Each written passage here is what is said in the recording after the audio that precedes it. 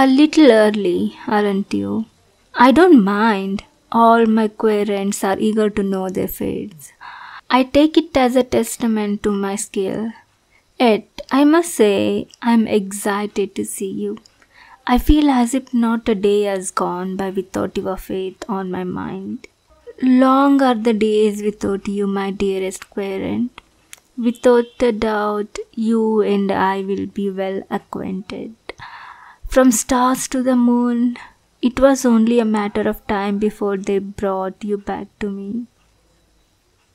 Oh, I apologize. Most psychics leave behind the age old tradition of vague premonitions and puzzle speech. I, however, am loyal to ceremony and slave to my desires. Once I get my oaks in something, he will add no fury like a human scorned. I wouldn't worry, I can still talk with the lack of sense. But you didn't come for that, so let's get down to it, shall we? So you asked me to keep it general, a simple reading. But as fate would have it, I'm feeling generous. It's not every day I get customers that look like you. I would hate to scare off such a handsome face. So I will be performing a Celtic cross, a 10 card spread involving your participation. I understand you seem to be going through a rough patch. A certain bad run of luck as of late. Please consider what might be affecting you and do your best to formulate a question. Take your time. I could watch you all day. Tell me when you have the question in mind, dear. Good. We may begin. Be good and shuffle the deck and cut it when you are ready. Make sure you feel familiar with the cards. How enticing it's been so long since I have had the pleasure of your fortune. True, it's our first meet, but each card you choose describes you perfectly sin and sinner still true with you. To begin the past, Nine of Swords, late in the journey, overwhelmed and underprepared. At times you feel clear and ready yet blind and bond your urges. It is surrounded by disappointment and feeling as if you are restrained by those around you, including yourself. She was no good for you. I am. The present, the Hermit, a major arcana, one representing the need to withdraw into yourself, a path of loneliness. Fewer those you trust, and even fewer smiles. Cold and alone, you need the comfort of control, a guiding hand to light your way.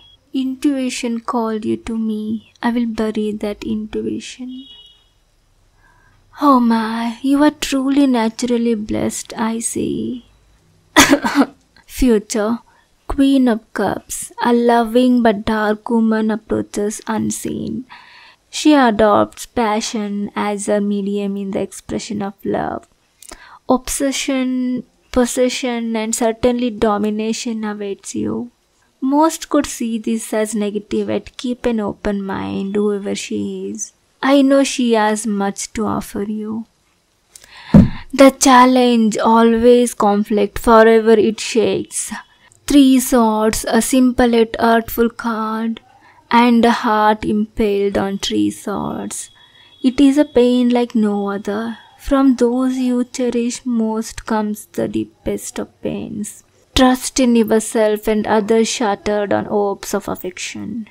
Whoever hurt you, I hope my voice can provide some solace. I trust things are going to get better. In fact, things will improve. You can count on it. Continuing, we reach the conscious.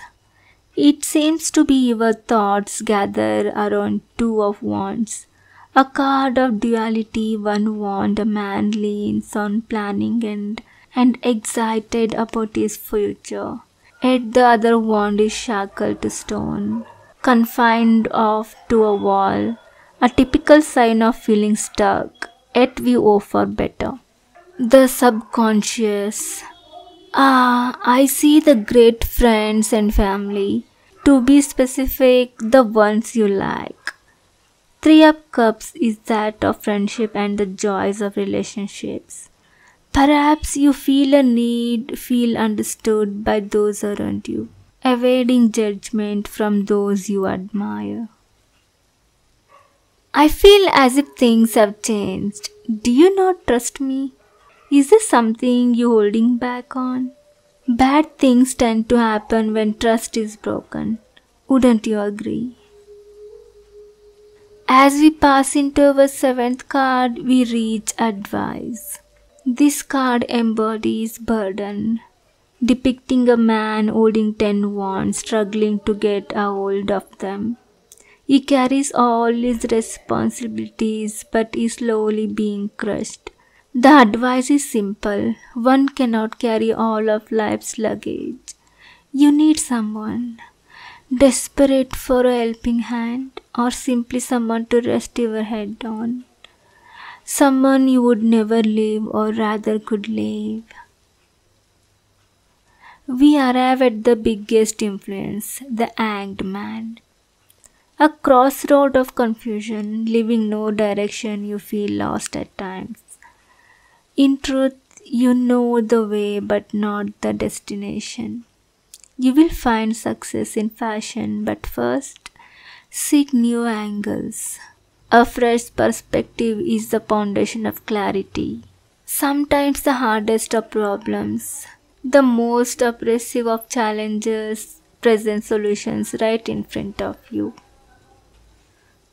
We soon reach our peak, your hopes and fears. Ten of Swords. Tragic is the fear of failure. A man lays impaled with ten swords, all from those he called friends. The fear that all you try and do is looked upon as nothing. To be abandoned and thrown away with little regard. Friends and lovers all shun you. It wants a betrayal, but also that good things are still to come. Perseverance and beauty are just on the horizon.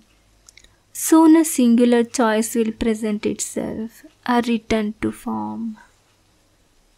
At last we come to our final card, the lovers.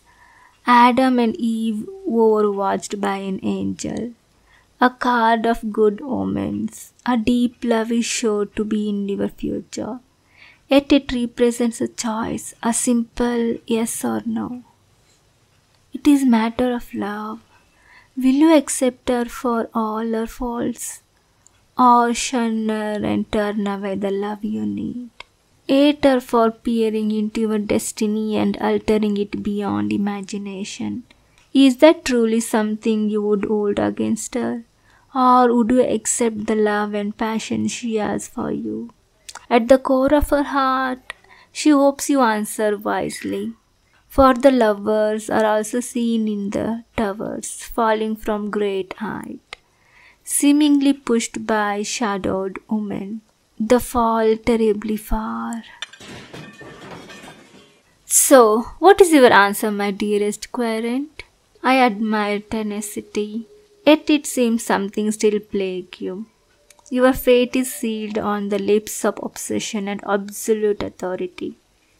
The dark woman follows, and so only misfortune leads the way. But don't worry, it's nothing we haven't dealt with before. I have just the solution. But you have to act quickly. I have a feeling whatever you are going through only going to get worse. I have everything you need, but it comes at cost. I can bless. You turn your misfortune to fame turn night into day if you do wish. Yet it requires daily blessing. Every moment at my side to guarantee your safety. This reading has revealed much. I see how isolated you are, how much you need a soft touch. The only for your life to get better is me. I am the only one who has what you desire. To feel like you can take the world by the horns. With me by your side again, I can control your fate. Make every little annoyance fall away. If you decide, however, that my services aren't worth it, I foresee a very dark future of all that leaves you crippled and broken, everlasting love shackled to the wall, a gentle push and harsh fall. So, my dearest, you have a choice. Will you accept my service or shun me away?